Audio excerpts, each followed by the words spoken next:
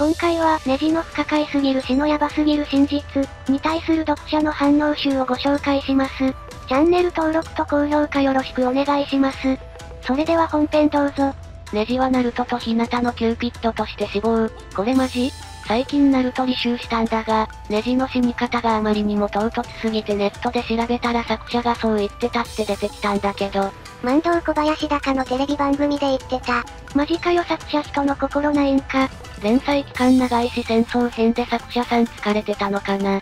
今手元にないからはっきりしないけどネジ死亡した時の単行本のコメントもめっちゃやる気なかった記憶がある。ああ、それあるかもね。ネジ死ななくてもペイン戦でのヒナタの告白でフラグは十分じゃないか？ほんそれ。割と読者的にはそんな印象なんだけど、岸影的にはあれだけじゃちょっと弱いかな認識だったらしい。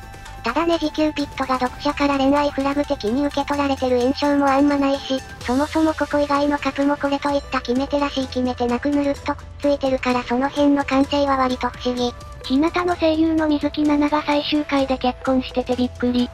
普通に失恋で終わると思ってたってラストの時のインタビューで言ってたぐらいなんだよな。ナルト役の竹内純ちゃんも意外がってたし、ピエロのナル作派スタッフや騎士影の奥さんからも不満の声が上がったらしいし、まあ意外な決着ではあった。他の夫婦は誰も犠牲にせずくっついてるからなんでネジだけ殺されたのか未だに疑問。てかフラグみたいなの立ってたし、サクラとくっつくのかと思ってた。アニオリだけどラストを考えるとネジさん、もはやキューピッドでもない説浮上して辛いんだ。アニオリは飛ばしてみたんだけど、ラストとかいうのがあるのか。調べてみてみるわ。 THE LAST は原作者の中にはなかった発想だから、ネジがキューピッドでもないとかは特に気にしなくていいと思う。あ、そうなんだ。ありがとう。作者がナルトに自己投影した結果、ペイン戦でヒナタに告白されても特に心動かなかっただけじゃネジ死亡させるくらいならナルトが死にかけた時救命活動で少しでもヒナタに活躍させればよかったのに、とは思うな。もしそうだとしたら作者結構変わってんな。告白されたのに心動かないとか、ほんと他の活躍とかでよかったと思うよ。告白されて心動くか動かないかは人の自由だし、なるひな抜きで考えたら他の仲間が我慢してる中で、無謀な突撃かましてあっさり吹き飛ばされてナルトの暴走の引き金引いただけなんだが、メタなレベルで殺策を早い段階で決めていてナルトの相手はじゃあ日向にしようと決めてたのなら心動かしてあげてもよかったんじゃ？とは思う。まあ自由っちゃ自由だけど、身を挺して自分よりもはるかに強い相手に死にに行くような形で一人で立ち向かったその中で告白してんのに、何も心動きませんでしたってのもあんまりだなと思うよ。もっと早い段階でケツめてたの？結構格決めに関しては作者自身どうするか決めかねてたっぽいよ。2部に入ってから最終的な組み合わせは決めたらしいけど、細かい時期に関してはインタビューごとにブレてたりするから、どうつくか、くっつかないか、決まらないまま走ってたんじゃないかな。だからどのキャラもフラグといっちゃフラグのようなものがちょいちょい立ってんだよ。そうなんだ。インタビューがその都度ブレてるってことはあんま鵜呑みにしない方がいいってことなのかね。まあ15年だもんな。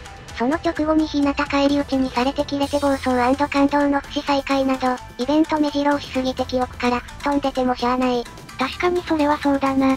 目の前に敵いるしね。身を挺してかばってくれた日向がやられた結果、休尾解放されちゃってるから心動かない何も感じてないわけじゃないよ。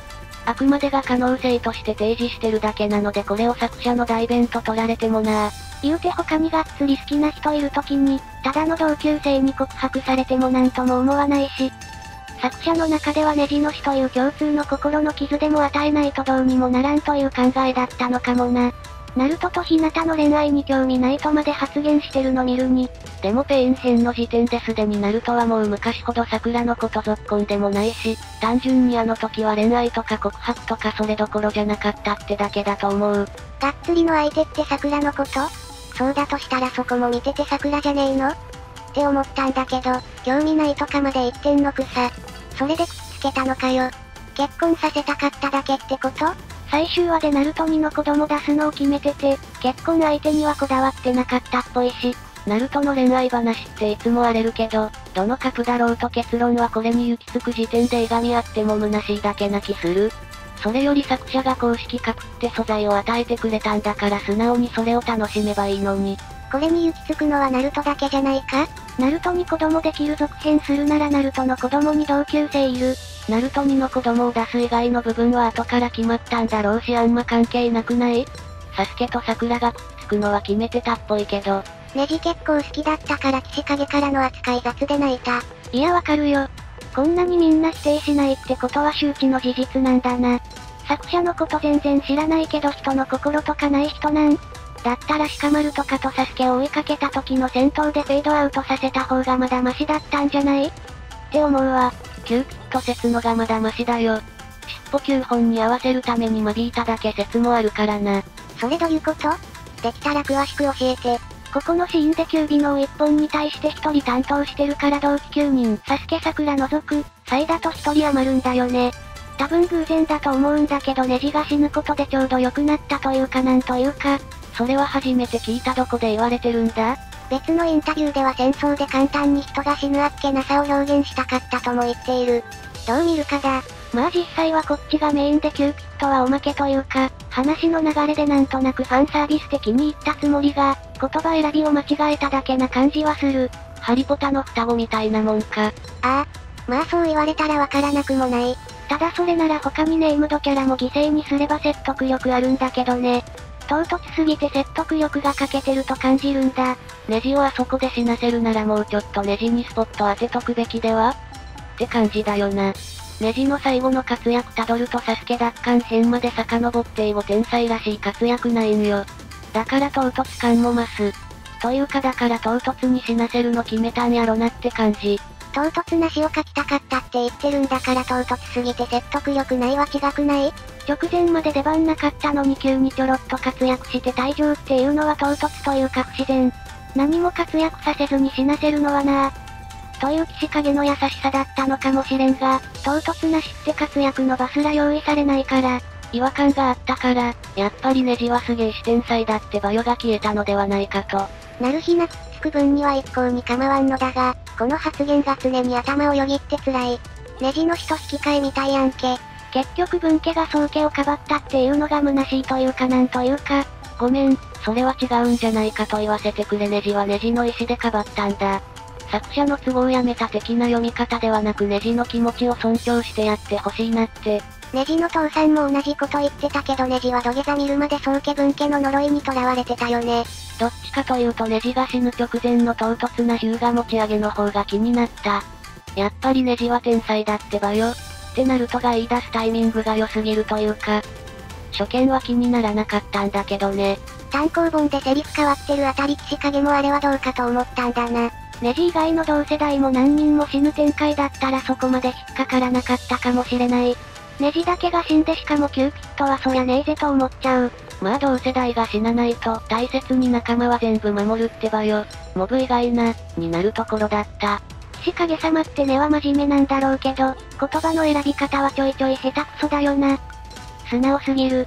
それはそれとしてボルトはネジの種類から名前取ってるとこは思うところがあったのかもしれない。ナルトの息子っぽさもネジ味もあるし、雷ともかけられるしうまい。というか岸影は最後になるとそっくりな息子が他芸はに落書きしてて一話回帰という構想ありきのナルトの結婚なので恋愛家庭には思い入れがないって言ってるんだよな。自分はナルヒナ好きだけどいまいちナルヒナが盛り上がらないのってこういうのが原因なんだろうなと思う。ネジ死なせたとかボルトありきの結婚とか、頭によぎる人がいてもおかしくないよな。そうは言ってもネジキューピッド発言って、漫画が最終回迎えた後だよ。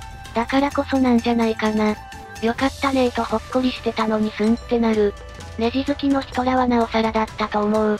そもそもサスケ奪還編で数人殺す予定のを編集に止められてるから、当時のジャンプか編集がそういう方向性だったんやない？なんやかんやペイン戦できっかけはできたし、ナルト側もサクラちゃんは吹っ切った感はあったから、戦後落ち着いてからヒナタとの仲が深まっていくくらいでよかったのでは？個人的にはだけど、ナルヒナは普通に人気あるでしょう。ペイン編の告白だけでも十分だし、それが足りないと思ったならネジ死亡以外別のやり方があったんじゃないかなって思ったわ。それ以外のやり方がなかったからネジ死亡したんだろうけど、どうせなら他のキャラも死んで欲しかったのが本音です。ネジだけって、一応いのやシカマルの親父も死んでるんだけどね。リアタイで見た時は絶対ネジ復活するだろと予想したけど、普通に死んでて理解追いつかなかった。じゃあこれから同期たちも死ぬ展開あるのか？と思ったら結局死んだのネジだけで泣いた。まあ同期はもっと死ぬべきだったな。弱者が平然と生き残るような戦争じゃ悲惨さは伝わってこない。カップリングよりネジが殺された後、周りがサクッと立ち直ってたのが辛かったな。リーとかテンテンとかガイはもうちょっと引きずってくれてもよくない？みんなは忍びび耐えるものだから大丈夫かもしれないけど、読者は立ち直るのに時間がかかるんじゃ。ぶっちゃけナルトが半ば開き直りみてえなことを言って、はい。この話終わり。した手前、ネジの死を引っ張るわけにいかないじゃん。それは、そうなんですが、もう少しこうて心というか、点々のこのシーンとか死後1日も経ってないテンションで出てくるものではないよ。ダークで鬱っぽい作風の漫画多い今のジャンプで連載してたら他にも何人か死んでそうだよな。皆さんはネジの不可解すぎる死のヤバすぎる真実についてどう思いましたか？皆さんの感想コメントもお待ちしています。チャンネル登録もよろしくお願いします。